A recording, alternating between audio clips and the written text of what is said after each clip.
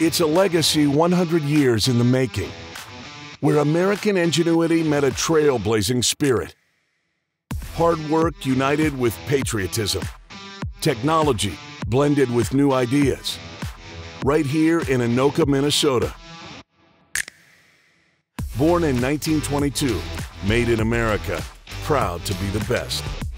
A century of innovation, and we're just getting warmed up.